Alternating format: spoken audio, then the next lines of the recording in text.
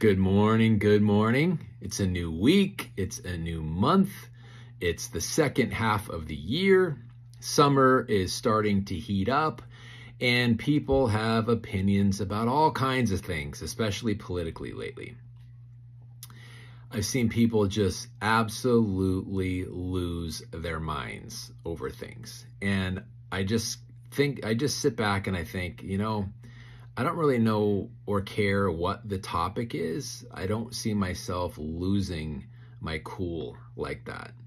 And and I think when we can master our emotions, the better off we are in any situation, especially when it's a volatile one because the people with the cool collected minds are going to be the ones that find the way out of the situation, which is why I really wanted to talk today about mastering your emotions and keeping a calm or a level head because it will get us through things that anger and frustration and just going unhinged would never get us through. In fact, people will shy away from us because we'll seem unstable.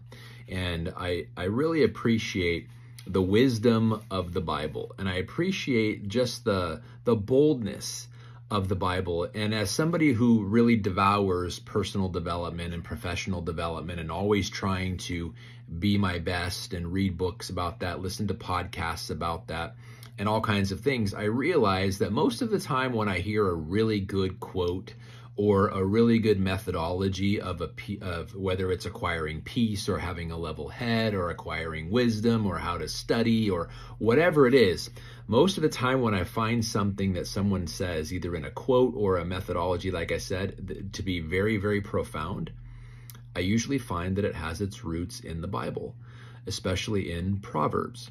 And today is no exception because we're talking about mastering our emotions and keeping a cool head and a, calm mind can handle any situation. Well, I, I love the, the translation of the Good News Bible of Proverbs 14 29.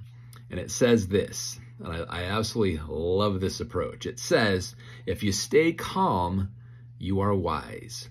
But if you have a hot temper, you only show how stupid you are again, I love the boldness and I love the transparency of the Bible. When we, if we have a hot temper, we just show how stupid we are. I think that's so applicable in today's world. And I'm not calling people stupid at all. Uh, I'm and I'm not saying anything about anybody in particular. I'm just saying the the best strategy to handle chaos, to handle uncertainty, like we have plenty of, in today's world is to keep a level head and just look at the facts, just the facts, ma'am, from Dragnet, if you remember that. So just look at it, keep a calm mind, evaluate it through what is important to us, and go on. And just keep a level head, keep a cool mind, keep a calm disposition, and handle your stuff and people will be gravitating to you because of that because people appreciate a calm mind especially when there's chaos because there's wisdom woven all through that. There's strength woven all through that. There's God's authority woven all through that. So whatever calamity or chaos or obstacle or frustrating thing you have in your life my friend just look at it objectively, remove the emotions, master those emotions in the process, and keep a calm mind. Because when you do, you can handle literally any situation. And if you find you're struggling with it, lean in harder on God because He can walk you through it.